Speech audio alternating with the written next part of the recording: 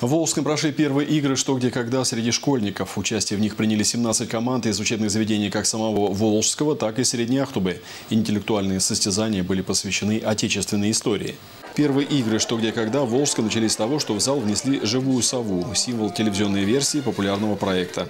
Вопросы по истории Отечества школьникам составили волгоградские знатоки-эрудиты. Поблажек на юный возраст не делали, ведь истинным интеллектуалам по плечу любые сложности, особенно если правильно работать в команде. Важна командная работа и работа на результат, взаимодействие в команде. Безусловно, важна роль и функция капитана команды, который, наверное, будет отбирать из имеющихся версий ту версию, версию, в которую он верит э, как э, правильную. Еще для успешной игры нужны азарт и динамичность, как и в любом спортивном состязании. По признанию участников первых игр «Что, где, когда» азарта им не занимать. К игре они готовились заблаговременно и были настроены только на победу.